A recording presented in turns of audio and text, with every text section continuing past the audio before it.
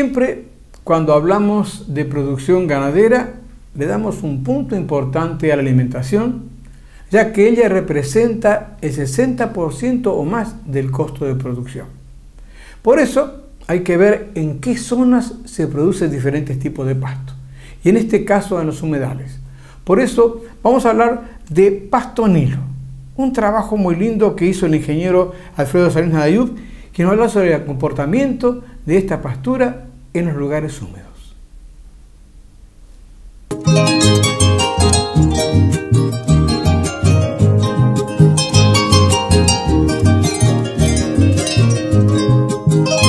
Apreciados amigos de ABC Rural, Nuevamente estamos aquí en la zona sur del Paraguay para demostrar algo que allá por el año 2000, a través de un libro que hemos publicado aquí en el Ñembucú, que se titulamos Misceláneas Forrajeras Realidad Ñembucú, y en el cual el doctor Peter Matías Giver había escrito el prólogo de este libro, que hemos agradecido ese gesto del doctor. Y en este libro habíamos ya indicado en ese tiempo aquellas especies que pueden adaptarse a las condiciones de humedales y a las condiciones de inundación. Ustedes tienen que imaginarse que yo estoy parado en este, en este mismo momento sobre un pasto que se llama pasto nilo, Acroceras macrum. Es una especie introducida en este departamento que resultó ser la niña bonita prácticamente en los proyectos de pastoreo con animales en zonas atípicas.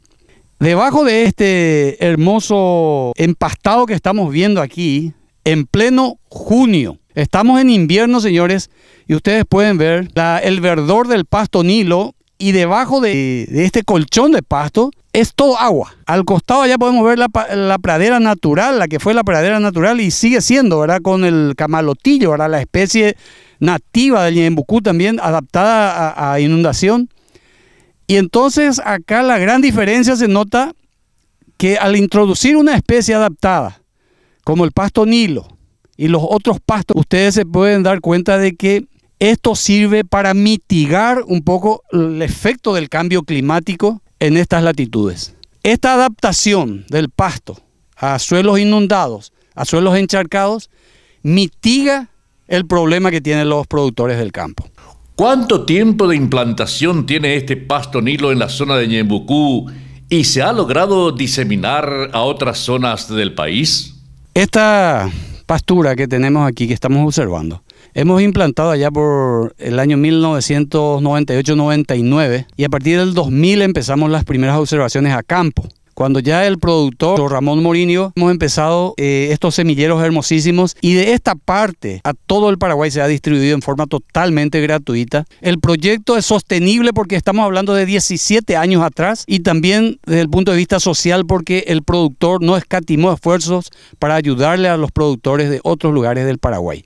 El ingeniero nos habló sobre el manejo agronómico del pasto nilo y otras bondades. Bueno, el pasto nilo eh, tiene una característica muy importante que se comporta como una C3 y como una C4. ¿Qué significa eso? Significa una especie que actúa como de clima templado como también de clima tropical. Entonces uno lo puede ver, observar prácticamente la pastura verde durante todo el año. La implantación de la especie se hace a partir de mudas y aproximadamente dos toneladas, dos toneladas y media de mudas se necesita por hectárea para, para instalar una pastura de, de Nilo. El valor bromatológico, si ustedes observan esta pastura, lo verde, el verde intenso significa mucho nitrógeno en las hojas de la planta. Eh, ese nivel alto de nitrógeno tenemos que traducir en proteína bruta, o sea que estamos hablando de un alto contenido de proteína bruta en las hojas al multiplicar la cantidad, el porcentaje de nitrógeno por una constante que es 6.25 y uno obtiene la cantidad de proteína bruta.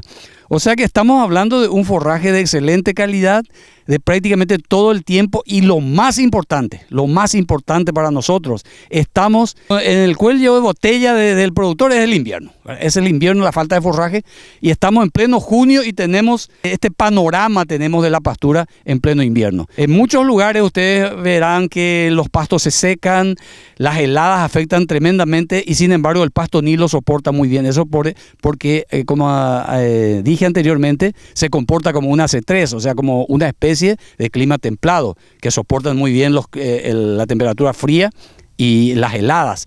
eh, un pasto C4, por ejemplo, un de carbono 4, eh, un pasto tropical, con 10 grados de temperatura ya no crece. Este, sin embargo, no le afecta absolutamente nada. Y en estos últimos tiempos tuvimos una baja de temperatura, pero el pasto siguió de esta manera. O sea, no. ¿Qué carga de unidad animal por hectárea se puede usar sobre el pasto Nilo? Si calculamos la cantidad de animales por hectárea y la posibilidad de que el pasto nilo pueda ser adaptado a un sistema guasán de pastoreo rotativo. Es totalmente factible porque el pasto eh, no tiene un crecimiento cespitoso así como la cetaria o la braquiaria. Este, este es un pasto que mm, cubre perfectamente toda la superficie del suelo. El sistema de pastoreo de los animales es doblando la lengua por un grupo de, de, de hojas del pasto y empieza a estirar. Es un pasto de crecimiento cespitoso, eso va a ir desapareciendo con el tiempo. Sin embargo, estas pasturas eh, no experimentaron ninguna pérdida de, masa, ¿verdad? En ningún lugar. Eh, no empezaron a aparecer claros dentro de la pastura por el tema del pastoreo rotativo y, y la carga animal que se hacía siempre sobre la pastura. Esto que puede eh, soportar fácilmente 4 a 5 a 6 cabezas por hectárea en un sistema de pastoreo rotativo. Por supuesto que eh, dentro de ese pastoreo rotativo existe otro fenómeno muy importante también que tenemos que tener en cuenta, que es el reciclaje de nutrientes. Los animales defecan y orinan permanentemente en la pastura y eso les sirve también a la pastura eh, para volver a recuperar los nutrientes perdidos a través del pastoreo. El ingeniero Salinas destacó que ya se han hecho estudios sobre el comportamiento del pastonilo en otras zonas del país. Eh, muchísimas personas y muchísimos estudiantes universitarios se interesaron por investigar eh, de manera más profunda y en otros ecosistemas el comportamiento del pasto nilo. Ustedes sabrán también que cuando llevamos el, pasto nilo de aquí a otro sistema, a otro ecosistema, la especie se, pues, se puede comportar diferente. O sea, son, ya empiezan a aparecer los ecotipos diferentes, pero siempre las virtudes se mantienen. Eso es muy importante. O sea que de aquí ya partieron ya surgieron investigaciones muy importantes que resultaron en tesis de, en universidades, ¿verdad? De, profesionales del área de la agronomía y del área de la producción animal, eh, del área veterinaria. Así es que estamos generando también conocimiento en forma permanente a partir de esta pastura que... Estudios realizados por especialistas en pasturas y que han trabajado en el sistema de pastoreo rotativo recomiendan que se deben retirar a los animales del potrero cuando el pasto esté llegando a una altura de entre 30 a 35 centímetros.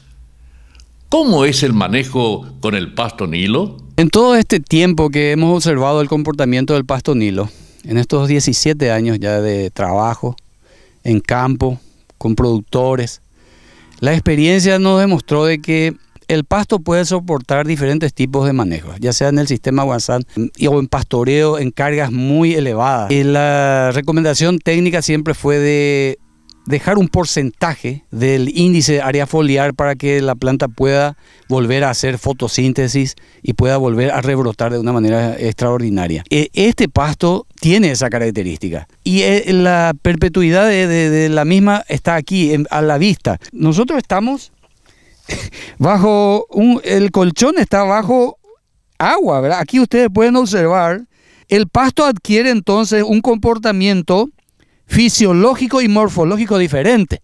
¿Qué significa eso? Fisiológicamente, el pasto, ante esta cantidad de agua, el pasto va a tratar de regular su crecimiento, ¿eh? tratando de que, eh, procurando de que el agua no le afecte en el sistema radicular. Entonces ahí él cambia un poco su fisiología y su morfología, que se refiere ya a la forma del pasto, él empieza a adquirir un poco más de finura, ¿verdad? Porque la parte aérea tiene que salir encima del agua para poder hacer fotosíntesis. O sea que es un comportamiento sumamente interesante desde el punto de vista biológico, científico.